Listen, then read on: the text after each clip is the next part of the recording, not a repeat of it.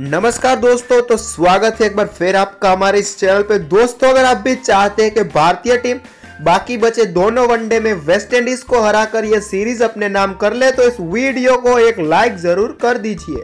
अब हम बात कर लेते कि आखिरकार पहले वनडे में क्या हुआ। दोस्तों, जैसे कि हम जानते हैं कि पहले वनडे में वेस्ट इंडीज ने उलटफेर करते हुए भारतीय टीम को एक करारी हार थमा दी है। दोस्तों, मैं आपको बता दें कि वेस्ट इंडीज ने टॉस जीतकर भारतीय टीम को पहले बल्लेबाजी के लिए आमंत्रित किया, जिसके जवाब में भारतीय टीम की ओपनिंग शुरुआत बहुत ही खराब रही और के राहुल और रोहित शर्मा कुछ खास स्कोर नहीं बना पाए।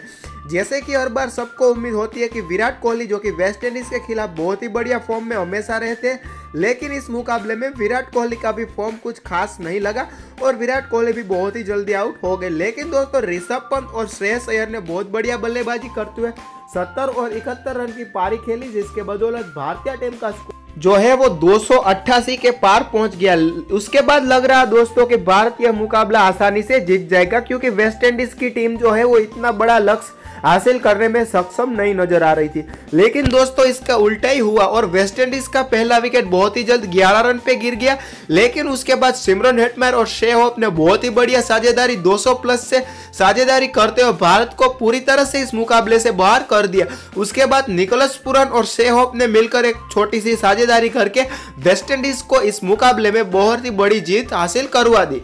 इस मुकाबले से दोस्तों, अगर भारतीय टीम को कुछ सीख लेनी है तो वो यह होगी कि दोनों स्पिनर को भारतीय टीम को एक साथ खिलाना पड़ेगा, यानी कि उज्वेंद्र चहल और कुलदीप यादव। क्योंकि दोस्तों, मिडल ओवर में रविंद्र जडेजा है, वो विकेट लेने में उतने सक्षम गेंदबाज नहीं है, जितने की युजवेंद्र चहल और कुलदीप यादव मिलकर मिडल ओवर में विकेट निकालते हैं। और अगले वनडे में अगर भारतीय टीम को वेस्ट इंडीज के सामने जीतना है तो कुलदीप और चहल दोनों को एक साथ खिलाना होगा, क्योंकि भारत की टीम के लिए इस वक्त एक बल्लेबाज ज़्यादा खेल रहा है, जिसकी कोई ज़रूरत नहीं है, जबकि एक गेंदबाज की ज़रूरत है, जिसको भारतीय टीम इस वक्त टीम में शामिल नहीं कर रही। और वैसे भी देखा जाए तो जसप्रीत बुमराह और भुवनेश्वर कुमार की गैर मौजूदगी में भारतीय टीम की गेंदबाजी वैसे भी काफ़ी कमज़ोर हो जाती है। उतने में भी अगर भारतीय टीम एक गेंदबाज कम खिलाएगी तो भारत को जीतना बहुत ही मुश्किल हो जाएगा। खैर दोस्तों, वीडियो को लाइक करना ना भूले और चैनल पे पहली बार आए तो सब्सक्राइब